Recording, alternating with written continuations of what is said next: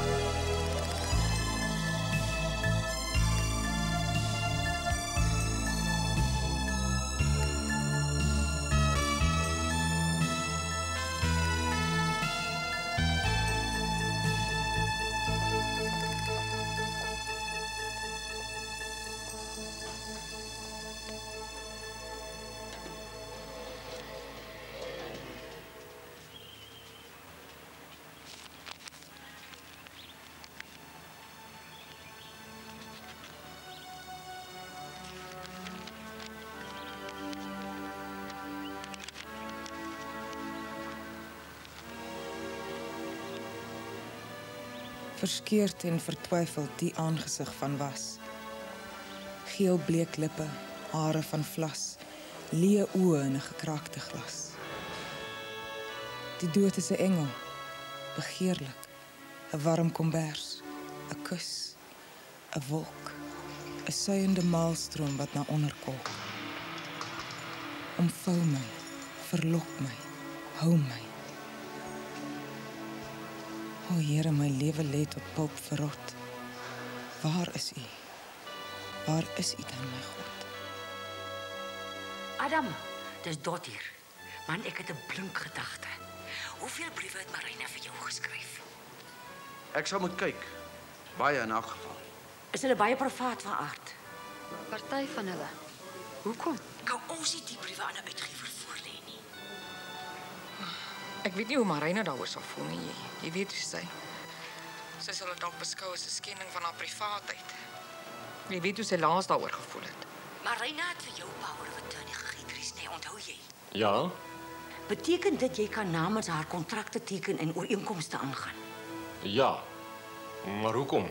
Ek het met haar uitgewer gepraat en hy is verskriklik opgewonde oor die idee. Die enigste probleem is nou Marina. Ek wil hê sy moet voel ons het haar verraai nie en Toch wil ik het voor voor een speciale verrassing.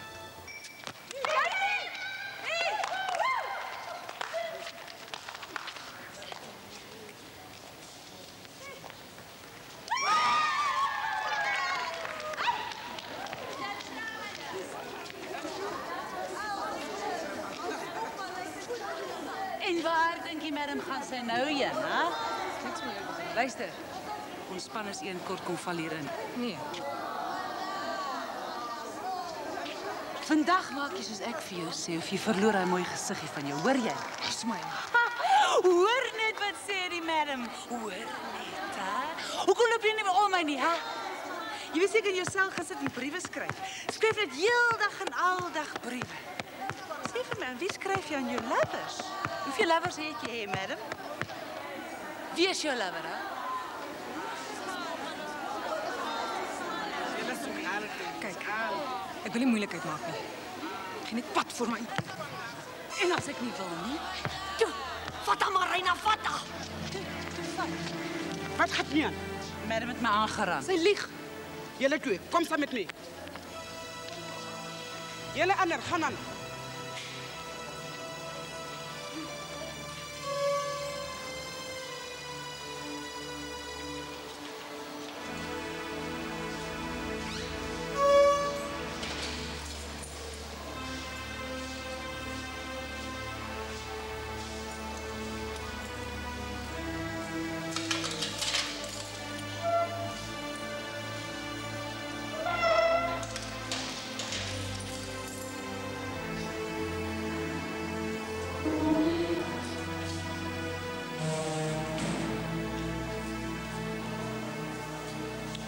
is het nou weer? Alviese en deze kolonel. En die Cordial. Dank je, Sylvie. Ik kan maar gaan. Kom maar, Reina. Ik is.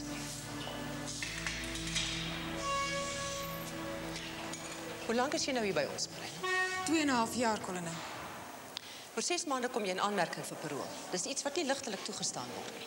Jou aanpassing bij ons was baie zwak. Je weier om samen te werken. Je blijft in je eigen kokon opgesluit. Je weet is goed voor jou, niet nee. Ja, kolonel. Ek.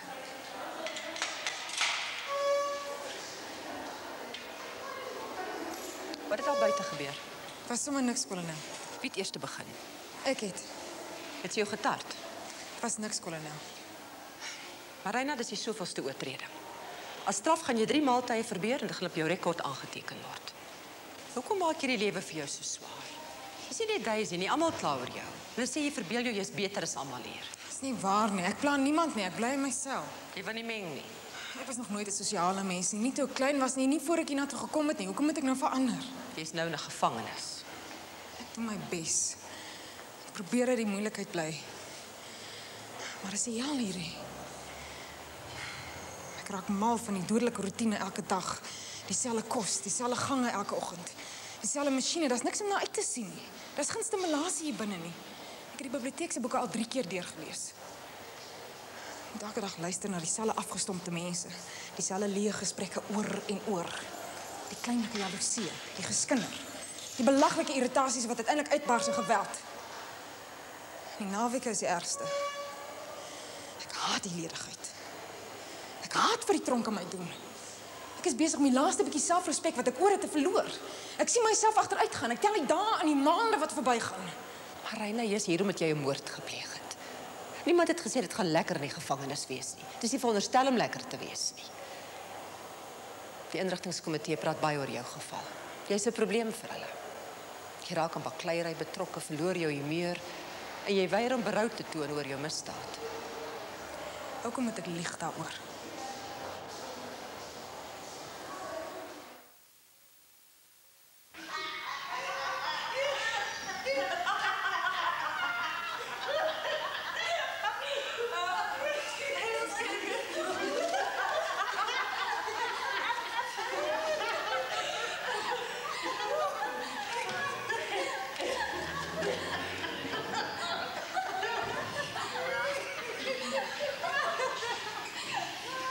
Wat gaat hier aan? Niks, juffrouw Sylvie, ons lag net.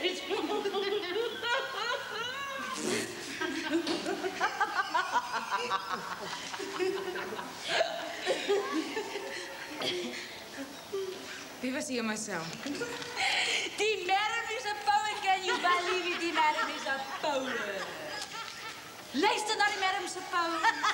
Meester Swanson. Eilskerwe van die winterson skif deur my esterhek. Gooi blokpatroon op 'n kabeton tussen 6 en 10 oor. It's very nice. It's very nice poetry, hey? I mean, isn't it a marvelous poem? It's so intellectual, so very arty. Maar is nog. Luister wat skryf die madam nog. Hol gesange ego deur traliewande. Sleutels knars en kettinge slot. Skimme slof deur skadu gange. Dis nou ons nie. En luister net hierna.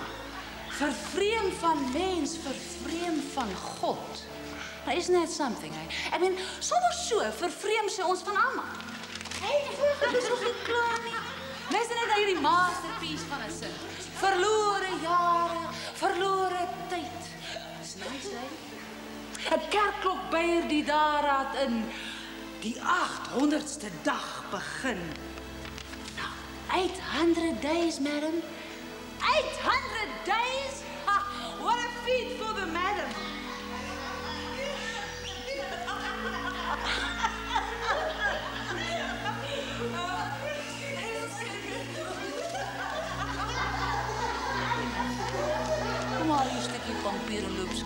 Nog poetry. You great man. Really great. One day you'll make us all famous.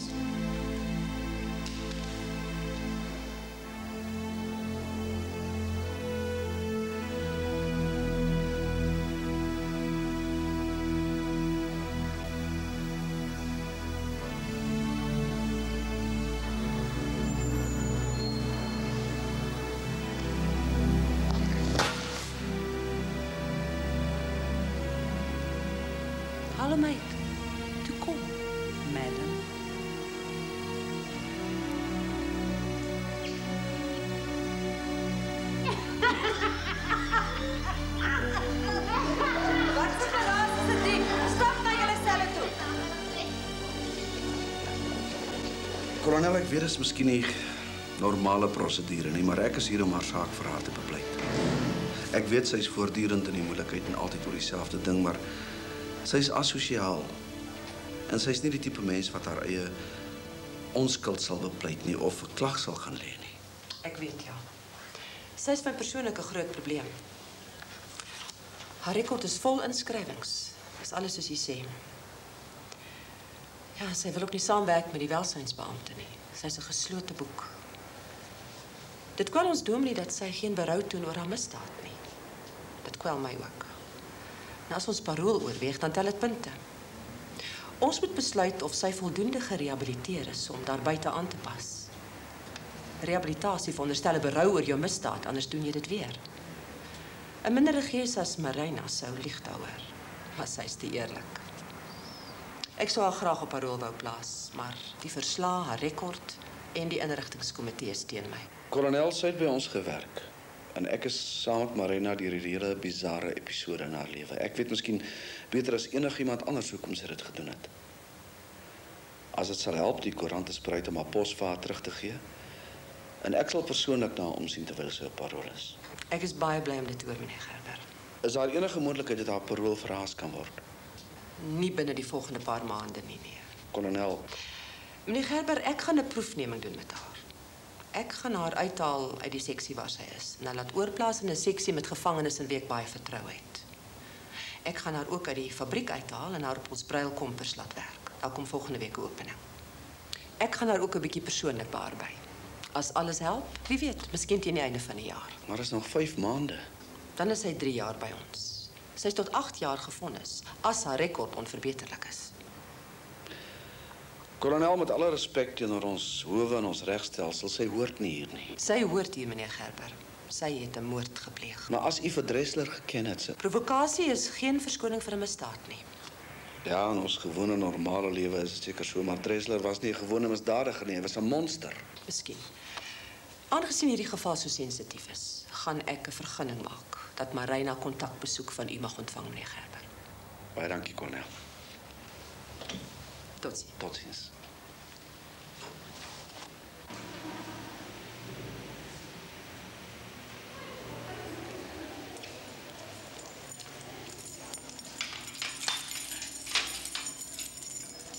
Marina, kom, daar is bezoek voor jou.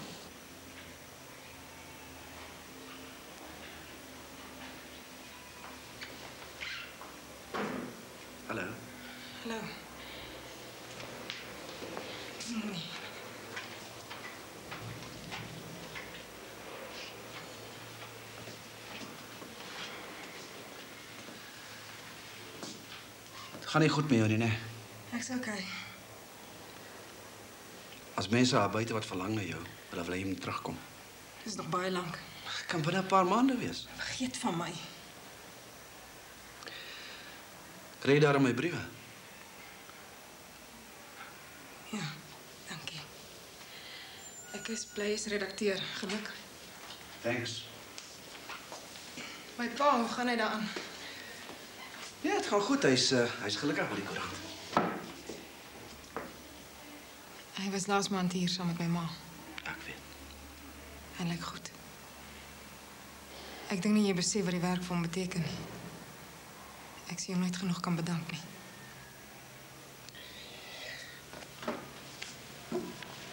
Klein Lisa stuurt groeten. Zij het uh, eh, weer veel jou. Jy moenie dit aan die kind doen nie. Kry vir jou iemand anders.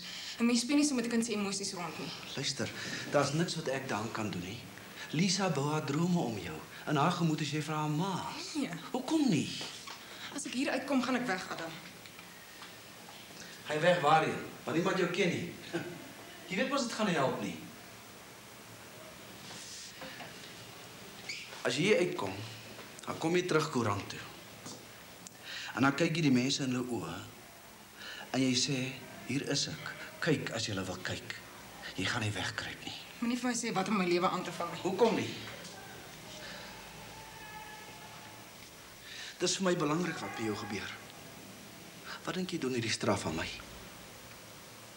Dit is soms moeiliker om magteloos daar buite te moet sit.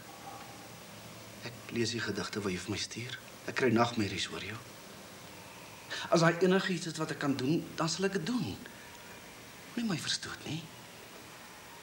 Jou vriende verstoot nie. As min van hulle maar hulle is lief vir jou. Asseblief. Asseblief wat? OK, as jy vir my sê jy wil niks met my te doen hê nie, los my uit, dan sal ek dit doen. As jy wil hê ek moet vir klein Lisa brainwash om jou uit haar gedagtes uit te kry, sal ek dit ook doen. Al het jou nodig.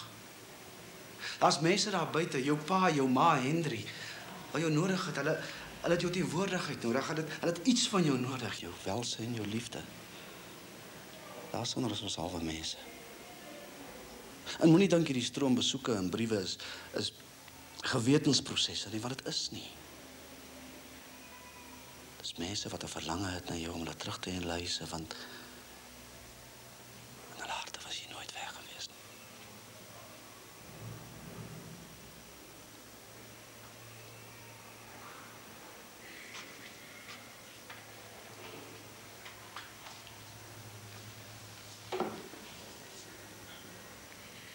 Eerste 6 maande ek kon nie eens briewe aan julle skryf nie. Verleentheid en die skaamte was te groot. Toe kamoufleer jy die briewe agter gedigte.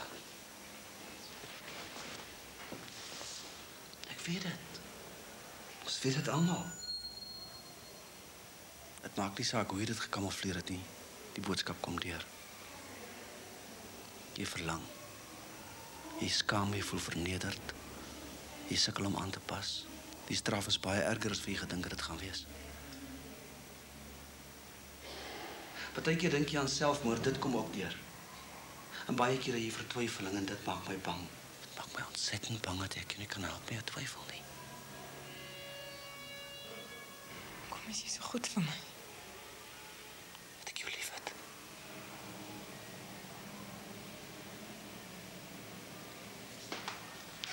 Moenie sulke dinge vir my sê nie. Ek is bang. Ek is bang ek raak bedwelmd in 'n geloof in iets in jou. En as ek aan die ander kant uitkom is is jy weg of jy het iemand anders ontmoet of jou lewe is nie meer dieselfde nie en dinge is nie meer soos dit was nie. Ja, okay, ek sal sommer net sulke goed sê, né? Ek is niks. Ek voel altyd en ek voel lelik. Daar's niks verkeerd met jou nie. Glo net in jouself. En glo net vir een keer in jou lewe aan my. Ek is 'n genuine bastard, maar ek het 'n belegging in jou gemaak en ek gaan jou nie sommer so laat gaan nie, okay? Die tyd is op.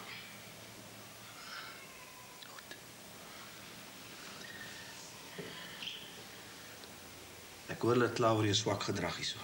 Nie stupid wees nie. Al wat nou belangrik is, is om jy uit te kom. As jy moet lieg oor jou gesindheid lieg. As jy moet lieg oor jou berou lieg, jy het, jy het 'n kriminele rekord. Niemand gaan jou verkwalik vir nog 'n klein wit leentjie nie. Red net jouself en kom jy uit, ons verlang na jou. Jy's 'n wonderlike man. Kyk, ek glo jou. Wees jy nou net 'n wonderlike vrou en lieg jou pad uit, okay?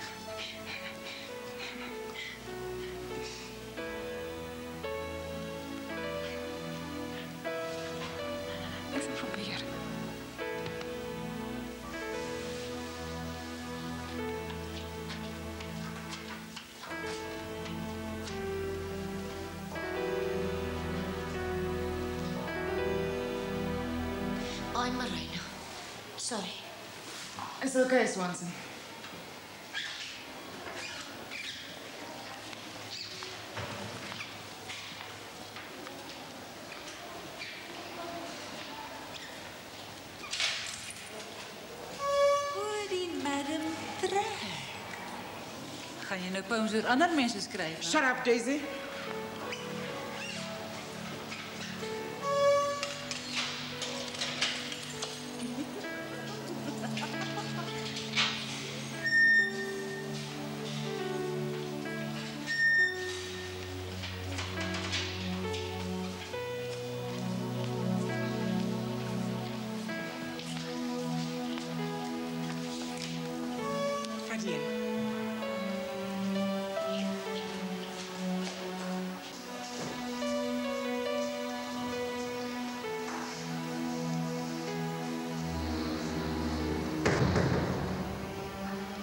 Alles het sy bepaalde uur.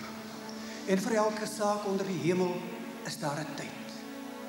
'n Tyd om gebore te word en 'n tyd om te sterwe. 'n Tyd om te plant, 'n tyd om te oes, 'n tyd om 'n lewe te neem, 'n tyd om te red. 'n Tyd om af te breek en 'n tyd om te bou. Sies mevrou. Kan ek jy 'n paar woorde praat mevrou? Sekerlik. Mevrou, jou parool gaan weer van dese week te sprake kom. Weet jy dit? Nee, Dominee. Ek wil so graag 'n positiewe verslag oor jou lewer. Maar jy moet my help. Wat wil jy moet ek doen, Dominee? Jy het die teksvers gehoor. 'n Tyd om 'n lewe te neem, 'n tyd om 'n lewe te red. Die eerste het jy gedoen, maar wat nou van die tweede? Wat bedoel jy daarmee, Dominee? Jy wil hier uit. Jou eie lewe red. Jy kan nie vergifnis ontvang as jy nie daarvoor bid nie. Dit weet jy mos. Jy kan nie bid as jy nie jou sonde bely nie, tot jy berou het oor jou daad nie. Dominee, wat jy my vra is onmoontlik. Ek kan nie net 'n besluit neem en sê nou het ek berou nie. Dis 'n ding wat van self kom, van binne af kom. Hoe kan ek vergifnis vra vir iets waaroor ek nie jammer is nie?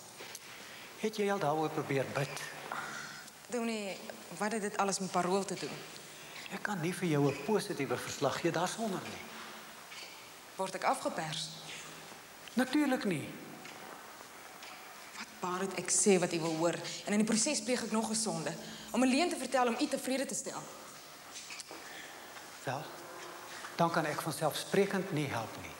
Jy kan jouself red, jou eie lewe red deur berou te toon.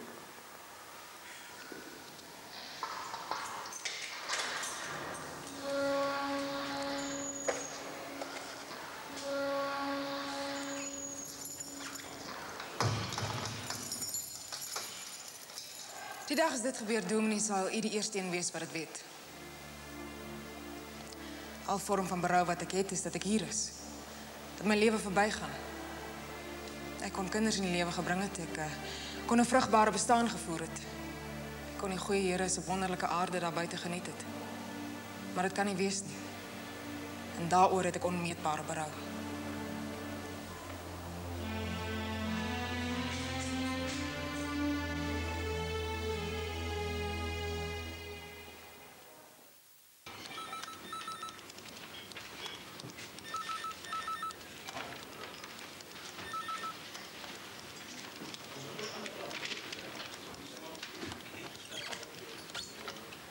Nee, u hoor van my.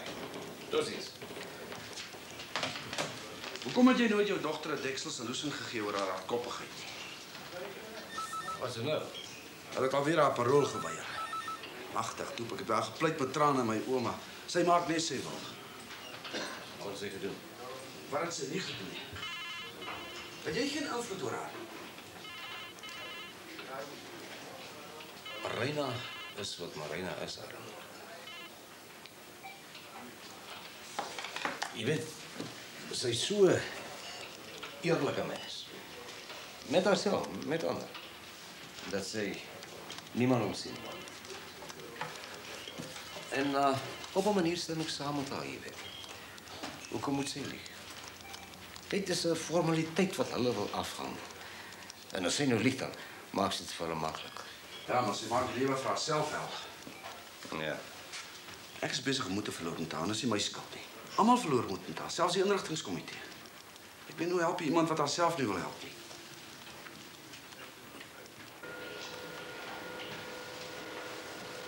Adjudant. Dit is Michelle Green, Marina McDonald. Sy kom nou saam met jou hierso werk. Hallo Marina. Hallo. Ek hoef jou seker nie te wys hoe om met 'n woordverwerker te werk nie. Nee, ek was 'n joernalis. Ons stuk storieboeke vir blindes wat ons dan oorsit op 'n flappie en hulle verwerk dit dan later tot brail. Ehm, um, had jij dat ook voor het boek, Michel? Ja, Gerard.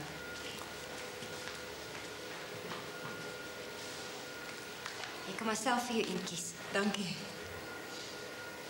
Oké, als je iets nodig hebt, ik is hier rond. Ik hoop je heel gelukkig geweest hier. Hoe lang heb jij nog? Zes jaar. Ach, je zal parool krijgen. Ons allemaal hier in A-sectie krijgen een of ander tijd parool.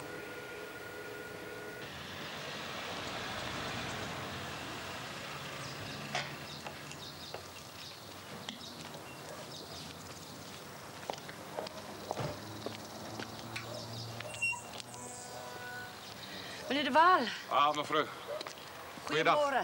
Hoe gaan dit? Goed, dankie self. Ek ook lekker, dankie. Wat is die nuus? Goeie nuus, baie goeie nuus. Ons het toe 80 van die gedigte gekies. Professor Oendal van uh, Tuks en professor Volkskenk van Rao het saam daaroor besluit. Hulle is baie opgewonde hoor. Hulle reken uh, dit is van die beste tronkpoësie wat nog geskryf is. Is dit? Ja, nou sommige van die gedigte voel hulle is 'n bietjie afgesaag, onoorspronklik en sentimenteel. Dit het ek vir u teruggebring. Die res is geset. Hier is die proe as jy dit wil nagaan. Nee, dankie. Maar ek sal baie graag wil hou. Professor Oendal het oor die naam van die middel besluit. Aha. Briewe uit 'n duister sel. Na aanleiding van een van die gedigte. Ek dink is 'n baie mooi titel. Ek dink ook so. Maar wil u nie sit nie? Nee, dankie, ek is 'n bietjie haastig. Wanneer gaan dit verskyn? Ons hoop om die Kersfeesmark te vang.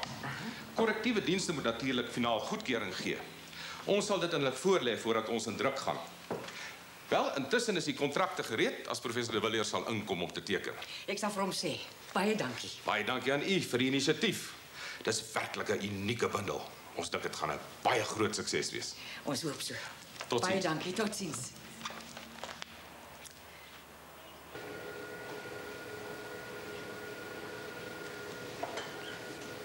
Is iets verkeerd, kolonel? Sit. Wanneer begin jy met jou eksamen? Maandag, kolonel. Graad die jaar? Nee? Ja, kolonel. Weet jy wat jy wil doen as jy hier uitkom? Ek weet nog nie regtig nie. Maar Reina, kom ek wees eerlik met jou. Die inrigtingskomitee is jou baie goed gesit. Hulle wil jou graag help. Maar die sielkundige sê jy is vir hom 'n duister boek. Jy verset jou teen elke poging om tot jou deur te dring. Die opvoedkundige beampte se verslag oor jou is vol lof vir jou punte. Maar ons uh, maatskaplike werkster is bekommerd dat jy nie daarbuiten gaan aanpas nie. Jy's in vir 'n aggressiewe misdaad. Sou jy na vrylating jou skuldig maak aan 'n soortgelyke insident soos die met Daisy, dan sal dit as aanranding deurgaan. Daisy is iets anders. Miskien. Maar dis net om te illustreer dat 'n persoon as jy op parol is, maklik in 'n insident betrokke kan raak wat tot jou nadeel kan strek. In elk geval, ons predikant gaan hom nie maklik laat oortuig nie. Ek is bevrees jy en hy gaan mekaar nie vind nie. En dis nou so sake staan. Ons sal nou eers na 4 maande weer jou situasie kan bekyk. Dan is jy al meer as 3 jaar hier. Probeer jou bes om jou eie ontwikkel. Ek weet jy word nie jonger. Dankie, kolonel.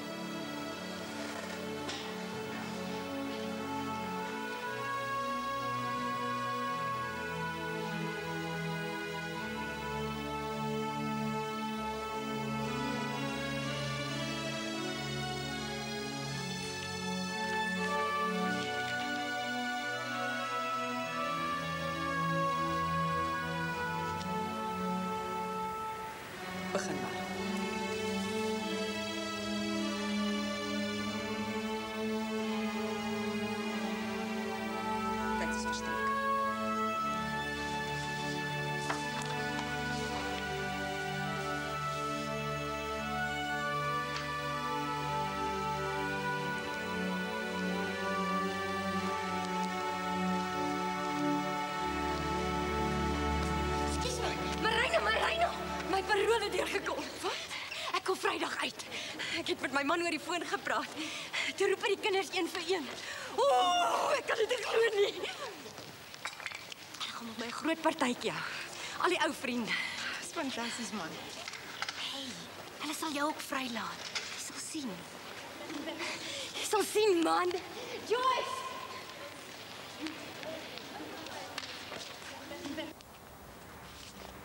Ah, ons ou kliënt, Marina McDonald.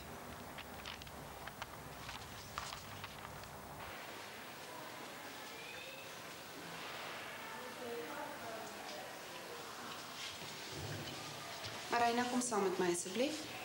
Ek wil nie besoekers sien nie. Maar die kolonel wil jou sien. Kom ons gaan op die ry af. Majoor, Wel, soos julle almal weet, het Marina al haar vakke gekry cum laude. Sy is die beste student wat ons nog ooit opgelewer het. Ek het geen twyfel dat sy op haar rol uitgelaat moet word nie.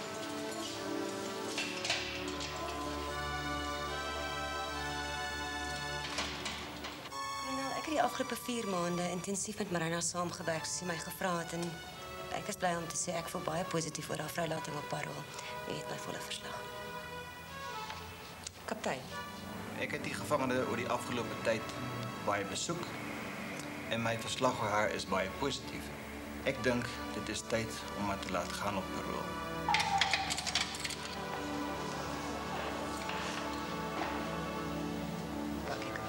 Dominee. Ongelukkig kon ek nie die gevangene sover kry om haar berou uit te spreek nie. Maar ek sal saamstem met ander lede van die inrigtingskomitee dat sy op parol vrygelaat word. Dan is ons eensstemmig. Baie dankie. Binne.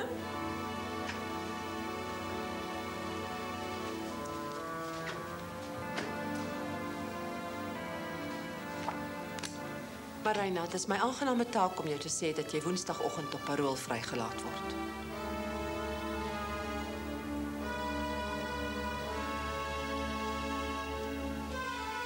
Veels geluk.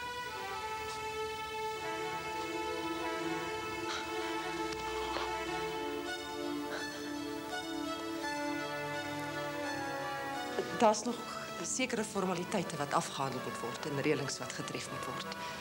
Adjudant bester zou je wel.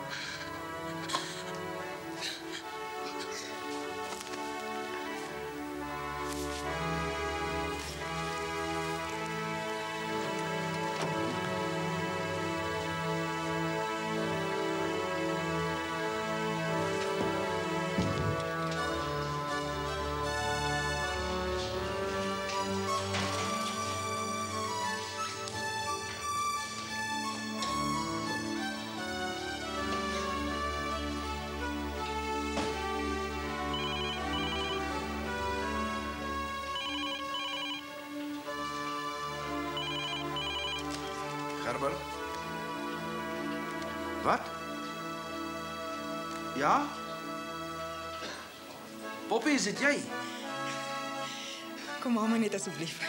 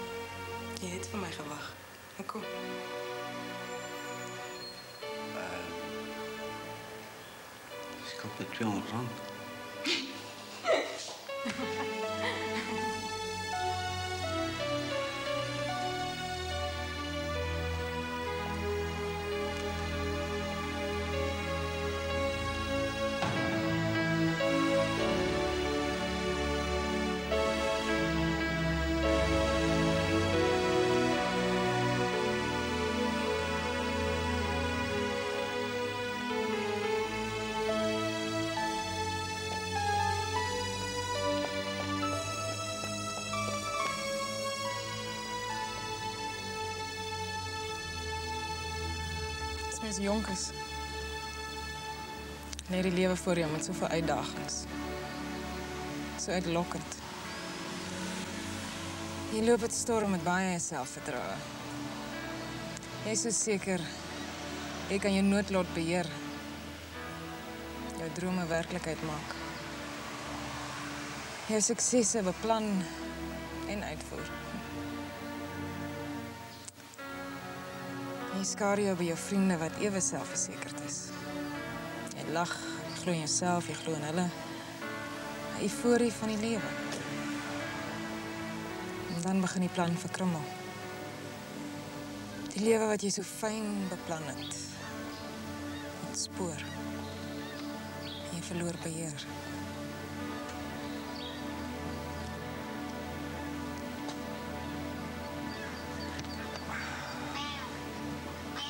Bij Spijmorbit is het wel. Ergens is cynische, oh Poppy. Vertel van mij niks niets niet. Ik weet allerlei dingen. Hoe leef mijn zonder een droom? Die leef is al wat belangrijk is. Is zo praktisch. Dan kon je bij makkelijk dat raad. Maar nou verstaan ik beter. Dus is het is. Je zei, zoenen kom en gaan en leven wacht van iemand niet. Aan die koerant kom elke dag op straat met dieselfde reëlmaat van moord en dood en As jy in drome leef, dan gaan die lewe by jou verby. Kom jou mense wag vir jou. Waarheen gaan ons? Ek dink tannie Dot het tee gemaak en koek gebak en jou vriende wil jou verwelkom. En daarna? Daarna poppie moet jy maar self besluit. Jy het die opsie om met my te trou en terug te kom koerant toe, maar jy moet self sê. is die meest onromantische huwelijksaanbod wat ik nog ooit gehoord heb. Is aanbod? Wat kan ik denken daarover? Moet je?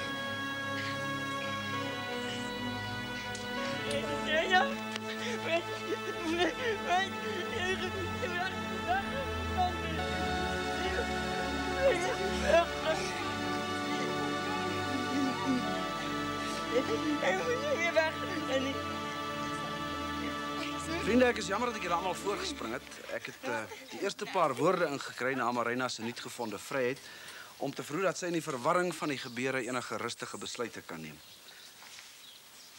Ek het vir haar ring gekoop en uh, sy het gesê nee nie. Ja, ek en Dot het saam gespan en Dot het vir haar 'n pragtige rok gemaak en ek gaan vanaand hierdie ring aan haar vinger steek.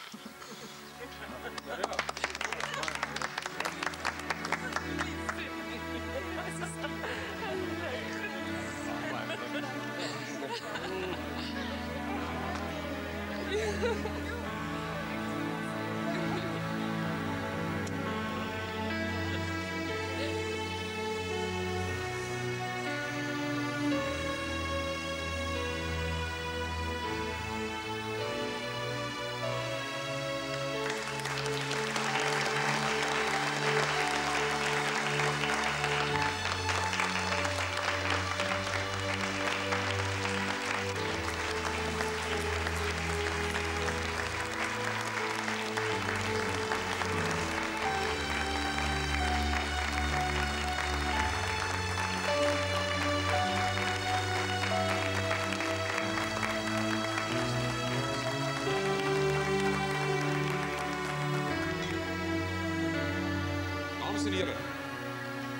Vanaand is 'n baie besondere aand vir Waal Publikasies. Ons gaan vanaand hier aan u 'n nuwe publikasie bekendstel, naamlik Briewe uit 'n duister sel.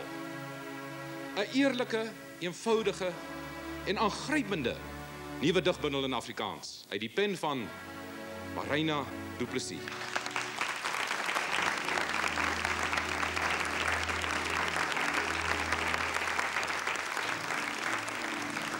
Dames en here. Briewe uit 'n duister sel is die liefdesdaad van 'n handjievol van Marina se vriende. Wat 'n geloof en hoop van haar kosbaarste gedagtes versamel het terwyl sy in die tronk was. En dit goed gedink het om hierdie ervaring met ander te deel. Dames en here, dis die prentjie van haar vereensaming. Van die ontnugterende ervaring van opsluiting en afsluiting van die wêreld hier buite. Haar verblyf daar het in koerante en in tydskrifartikels die verbeelding en simpatie van die hele volk aangegryp. En briewe sal spreek tot elkeen wat dit selfs oorweeg het om haar te veroordeel oor wat sy gedoen het. Dames en here, dis nou vir my baie aangenaam om aan te kondig dat briewe uit 'n duister sel bekroon word met die De Waal Persprys en dat dit ook in aanmerking kom vir die CNA en Hertzogprys.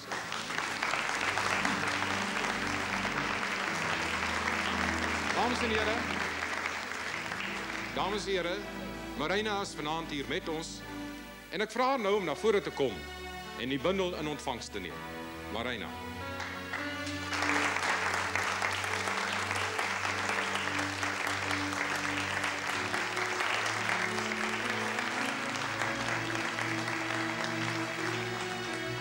Marina. Welkom tuis. Welkom in ons midde. Mag hierdie bundel jou soveel vreugde bring, soos aan al jou vriende, oor jou terugkeer na die wêreld. Baie geluk.